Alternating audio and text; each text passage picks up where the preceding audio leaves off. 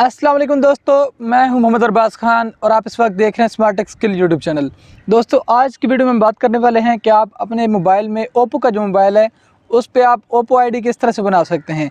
और ये जो ओप्पो आईडी होती है, ये ज़रूरी है कि आपके पास कोई ना कोई ओप्पो का मोबाइल फ़ोन होना ज़रूरी होता है।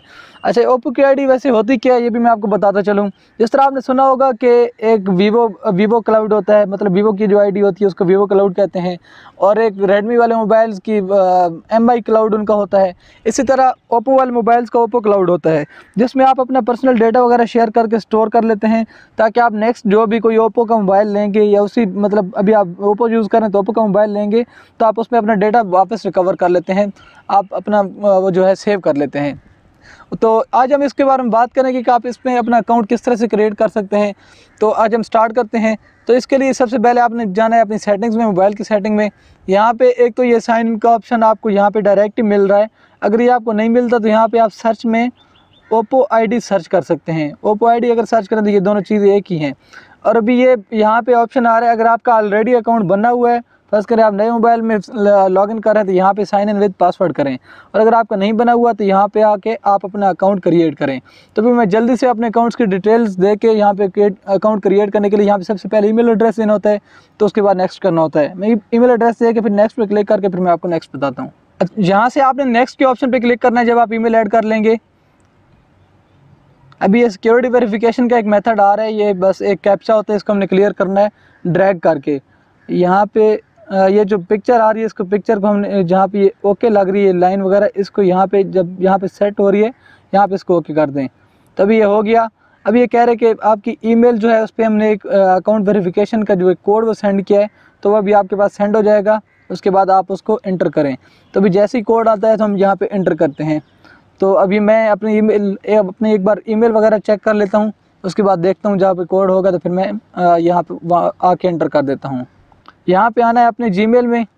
जीमेल में आने के बाद जो जिस अकाउंट पे आपने किया है तो उस अकाउंट को हमने यहाँ पे लॉगिन कर लेना है। अभी आप देख सकते हैं कि यहाँ पे ओप्पो की जो आईडी का जो आ रहा है ईमेल आ चुकी है, और यहाँ पे कोड भी मुझे मिल चुका है।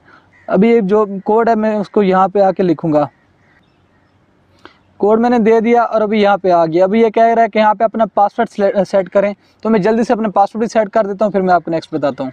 यहाँ पे पासवर्ड आपका सेट हो गया और अभी आपने यहाँ पे जस्ट नेक्स्ट के बटन पे क्लिक करना है।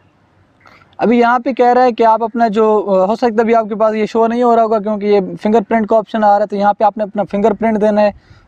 आपके, आप खुद ही है, आपने ये वेरीफाई करना होता है। और अभी आप यहाँ पे देख सकते हैं कि आपका जो अकाउंट है वो यहाँ पे क्रिएट हो गया है। और अभी यहाँ पे जस्ट साइन इन हो चुका है। और अभी आपके यहाँ पे अगर माई प्रोफ़ाइल देखें तो यहाँ पे इसमें आपने मज़ीद अपनी ये सारी डिटेल्स वगैरह दे सकते हैं, यहाँ पे सेव कर सकते हैं। उसके लिए यहाँ पे आपने जो अभी आ रही डिस्प्ले नेम जो आ रहा है, ये नो फ़ील्ड है। यहाँ पे डिस्प्ले नेम पे अपना मैं नाम दे दूँगा, जो भी मतलब मैं अपना नाम रखना चाहता तो कुछ भी रख सकते हैं आप। आप इसको यहाँ पर सेव कर लेंगे। अभी कह रहे हैं कि यूज़र नेम ऑलरेडी एग्जिस्ट तो मैं कोई ऐसा नाम दूँगा जो कि मतलब पहले नहीं बना होगा। तो मैं अभी जल्दी से लिख देता हूँ। तो ये अभी मैंने दे दिया, इसको मैं यहाँ पे सेव के बटन पे क्लिक करूँगा। तो अभी हमारी जो अकाउंट इन्फॉर्मेशन है वो मॉडिफाइड हो गई है। उसके बाद नेम नेम में मैं अपना नाम दूँगा, जो भी गिवन नेम है वो मैं यहाँ पे लिखूँगा। और मैं लिख के फिर मैं दोबारा स्टार्ट करता हूँ। अभी यहाँ पे ये चीज़ हो गई यहाँ पे इसको अभी मैं सेव करूँगा।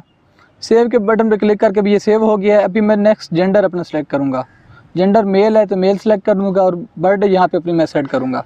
तो जल्दी से मैं अपनी बर्थडे सेट कर देता हूँ, फिर मैं आपको दिखाता हूँ। तो यहाँ पे आपने अपनी बर्थडे यहाँ पे सेव कर देनी है और यहाँ पे जस्ट आपकी ये शो हो जाएगी। उसके बाद नोटिफिकेशन एंड फीडबैक का जो ऑप्शन है इसको अगर आप करें तो ये आप नीचे बता भी रहे हैं कि इसको ऑन करने से आपको मतलब क्या बेनिफिट्स हो सकते हैं। तो latest news about our products and services be push to you you can also submit suggestion about our products मतलब जो भी uh, नया मोबाइल वगैरह लॉन्च हो रहा होगा या कोई अपडेट्स वगैरह आ रही होंगी तो वो नोटिफिकेशन आपको ईमेल पे मिलती रहेंगी। तो मैं अभी इसको ऑफ़ ही रहने देता हूँ इसका भी फ़ायदा नहीं है। तो ये सारा हो गया अभी साइन इन एंड सिक्योरिटी पे अगर आएँ तो ये अभी आप देख सकते हैं कि ये तमाम डिटेल्स यहाँ पे आपकी आ गई हैं। तो तो यहाँ पे अभी आपका अकाउंट जो है वो सक्सेसफुली बन चुका है। तमाम डिटेल्स आपने ऐड कर दी हैं। और अगर आप यहाँ पे साइन आउट पे क्लिक करेंगे तो यहाँ पे आपका अकाउंट साइन आउट भी हो जाएगा यहीं से। तो ये सारा मेथड था कि आप अपने ओप्पो आईडी जो है वो किस तरह से बना सकते हैं, किसी भी ओप्पो मोबाइल में, ताकि आपको फर्दर यूज़ के लिए आप अगर इसको सेव करना चाहें, कोई डेटा वगैरह तो वो आप किस तरह से मतलब नेक्स्ट मोबाइल में फिर आप हासिल भी कर सकते हैं। तो आज की वीडियो बस इतना ही था कि आप अपने ओप्पो मोबाइल का जो ओप्पो क्लाउड की जो आईडी होती है वो किस तरह से बना सकते हैं। तो अगर वीडियो अच्छी लगी तो लाइक कर दें, चैनल पर नहीं तो सब्सक्राइब कर दें, बेल नोटिफिकेशन को ऑन कर दें। Thank you very much